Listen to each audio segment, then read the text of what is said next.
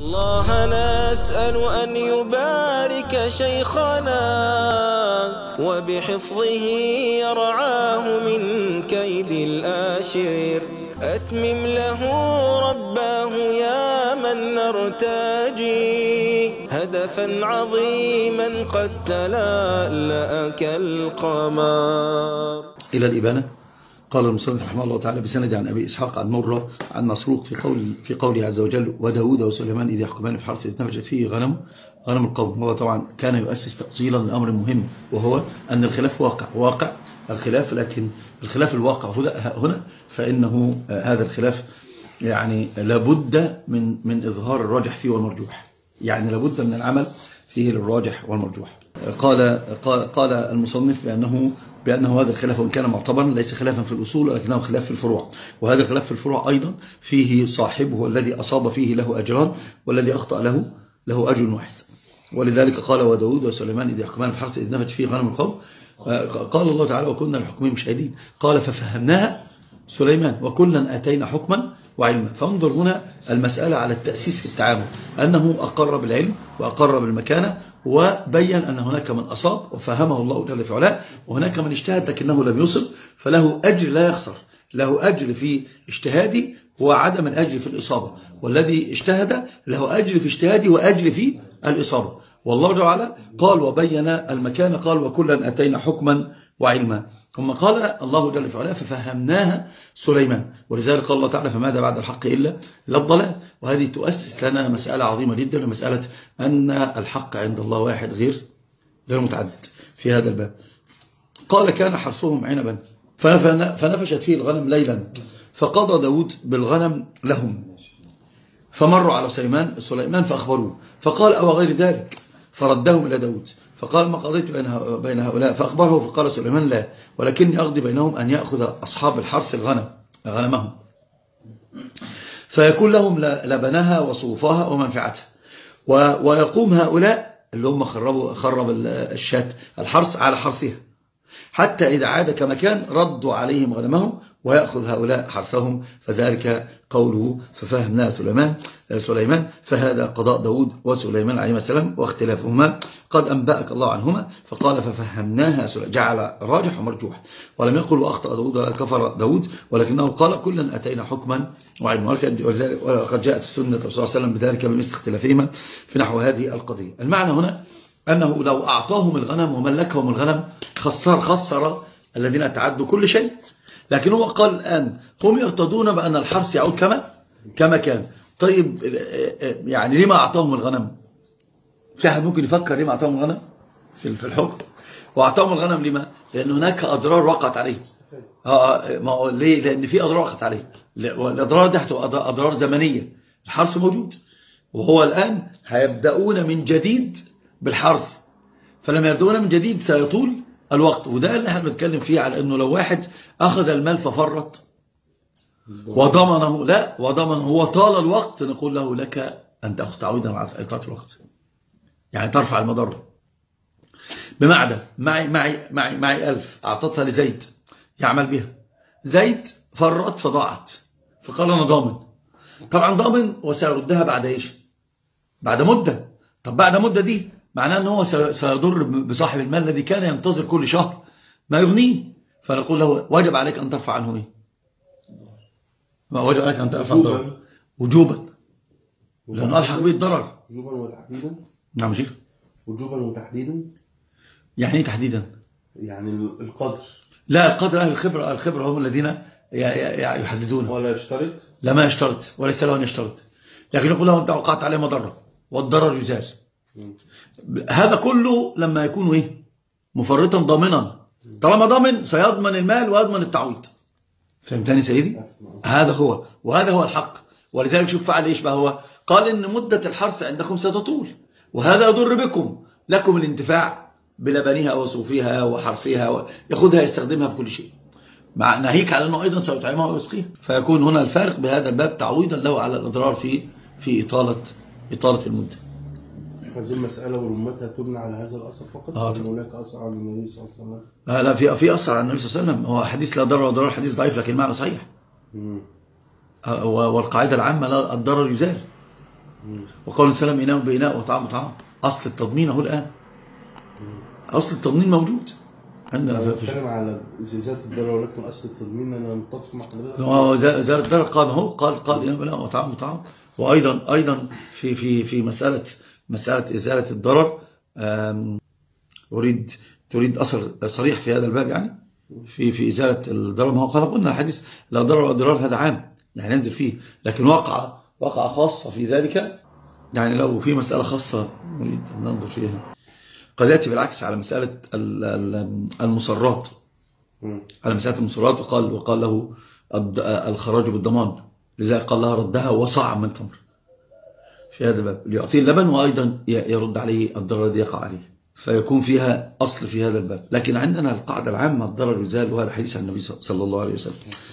وأيضا روى المص- المصنف بالسند عن أبي هريرة رضي الله عنه قال بينما امرأتان معهما ابنهما إذ جاء الذئب فذهب بابن إحداهما إحداهما فقالت كل واحدة لصاحبتها إنما ذهب بابنك. فتحكم إلى عليه السلام فقضى به للكبرى فمرتا على سليمان ابن داود فقصت عليه القصة فقال أتوني بالسكين أشقه بينهما. فقالت الصغرى يرحمك الله وهو ابنها. فقضى به للصغرى قال ولا فوالله ما سمعت بالسكين إلا يومئذ أيام كنا نسميه ليش؟ المدية. قال الشيخ فهذا رحمك الله اختلاف الأنبياء في الأحكام. نطق به الكتاب وجاءت به السنة فماذا عسى أن يقولوا أن يقوله أهل له أهل البدع في اختلافهم؟ أما الاختلاف بين الصحابة والتابعين فكثير كثير. أهو بين الأنبياء والله جعل جعل جعل من أصاب وجعل من إيش؟ من أخطأ. فجعل المصيب أجرين والمخطئ أجر واحد. طبعا هي القصة أنه الذئب أخذ ابن الصغرى ابن الكبرى. وكان ابن الصغرى في يد ابن بالكبرى. فدخلت بال- بالولد في يدها إلى داود فداود يعني قال البيان عن الدعوة واليمين عن الأكر الصغيرة- قالت ده ابني وهو مش في إيديها. معاش قوة. قال هات بينة. ما عندهاش بينة. قال يبقى إذن هو للصغرى. آه، ليس للصغرى للكبرى لما رأى سليمان اللهفة قال طيب هاتوا هاتوا الولد أشق نصفين. نصف من باب المصالحة. قال ذلك حيلة لإيش؟ ليستخرج الشعور الذي يبين من الأم. اللي هو حنو الأمومة. فقامت الصورة قالت وليس ابني. هو لها أعطيه إياه. ليه؟ لأن الأم تقول أموت ويعيش ابني. ما ما يهمها أن هي تقتني الولد يهمها أن الولد يعيش. فلما قال ذلك فهم سليمان أن الولد ليس ليس ابن لأن الكبرى رضت بالشق. ومش ممكن الأم ترضى به بقتل ابنها. فالصغرى ما ارتضت فعلم أنه قال هو ابنك. وأيضا الله مدح. سليمان قال ففهمناها. سليمان. والخلاف عنا بين الصحابة أيضا عن عمر الخطاب أن النبي صلى الله عليه وسلم قال سألت ربي فيما يختلف فيه أصحابي من بعدي قال فقال فقيل فقال لي يا محمد إن أصحابك عندي بمنزلة النجوم من السماء بعضها أضوأ من بعض فمن أخذ بشيء مما هم عليه من اختلافهم فهو عندي على هدى. وهذا حديث ما يصح لو اختلافهم رحمة يبقى اجتماعهم إيش؟ عذاب. هذا كلام عجيب. شيخنا ولو لم تتكلم الأخرى هل كانش يشك سليمان الطفل؟ لا ما كانش يشق إذا الحيلة جعلها حيلة. تجوز. هذه حيلة شرعية مش كل حيلة تجوز. آه مش كل حيلة تجوز. آه حيلة شرعية تجوز الحيلة الشرعية تجوز وهذه فقه. هذا فقه لتحقيق إيش؟ تحقيق مقاصد مقاصد الشريعة. فقه تحقيق مقاصد الشريعة في هذا الباب. وأيضا عن ابن عمر قال قال رسول الله إنما أصحاب منزلة النجوم فأيهم أخذتم بقوله اهتديتم. هذا أيضا لم يصح.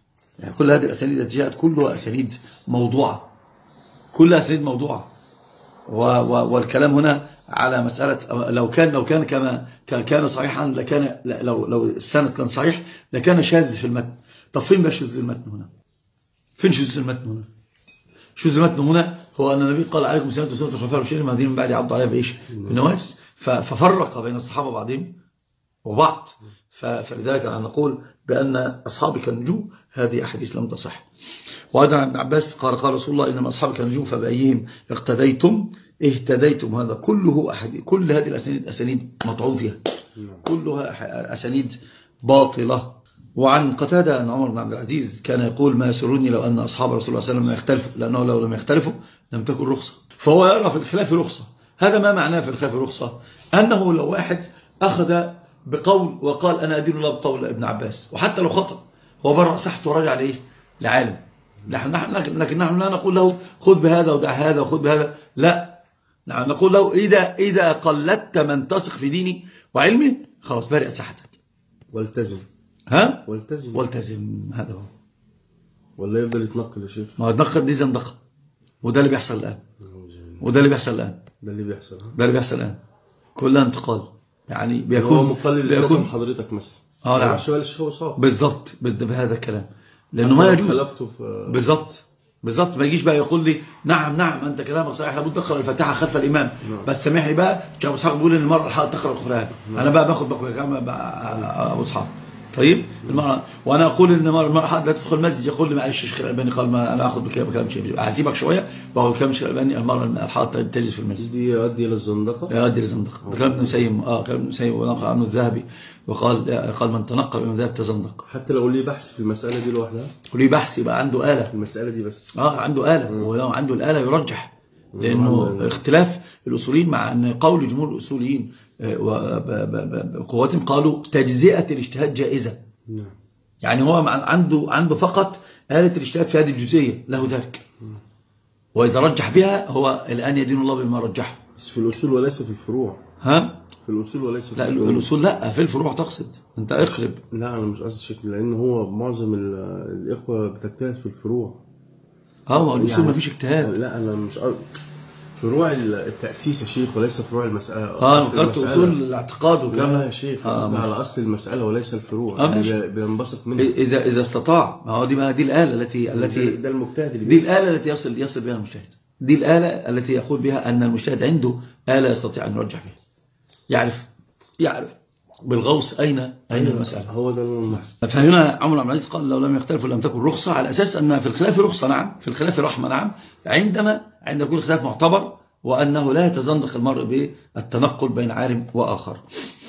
وروى المصنف أيضا آه، اجتمع عمر بن العزيز والقاسم محمد فجعل يتذكران العلم قال فجعل عمر ربما جاء بشيء يخالف فيه القاسم قال فجعل ذلك يشق على القاسم قال فتبين ذلك لعمر فقال عمر لا تفعل فما أحب أن لي باختلافهم حمر النعم.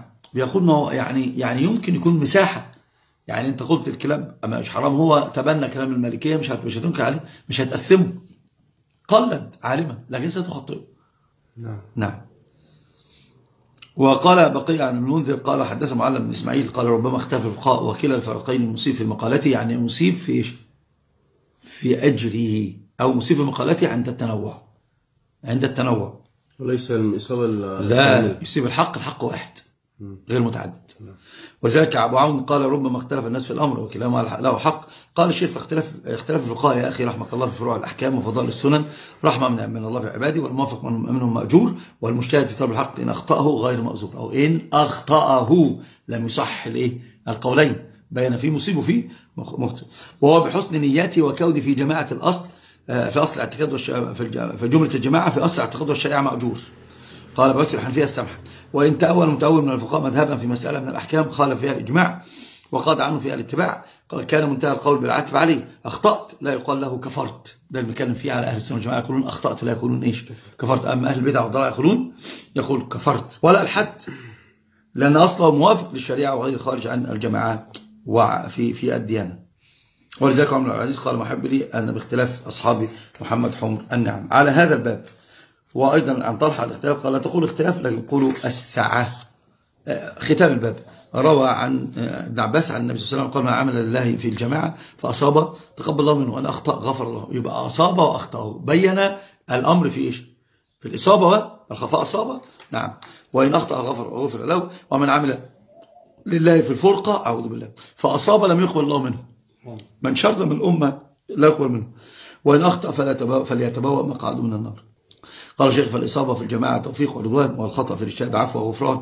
وأهل الأهواء اختلفوا في الله وفي الكيفية وفي الأبنية وفي الصفات وفي الأسماء وفي القرآن وفي قدرة الله وفي عظمة الله وفي علم الله. تعالى الله عما يقول الملحدون يعني قولا آه، آه، علوا كبيرا. المعنى هنا أنهم إذا خالفوا لا يخالفون إلا إلا في الفروع ومخالفة الأصول بدع. يعني يقال مبتدع يقال مبتدع. طيب الفوائد المستنبطة خلاف الأمة رحمة للسعة. خلاف الأمة- رحمة للسعة. ولكن منهم المصيب ومنهم المخطئ. المجادلة للحق سنة من السنن من السنن الكونية. المجادلة للحق سنة من السنن الك- الكونية ولشيخنا همة علت الثريا فنالت من فنون الدين ريا. ولشيخنا همة علت الثريا فنالت من فنون الدين ريا. فذافق كسقي الماء كانا وتلك عقيدة السلف النقيا. وتلك عقيدة السلف النقيا. فأخلص نية ربي وبارك على شيخ نبيل الخلق والضاح المحيا.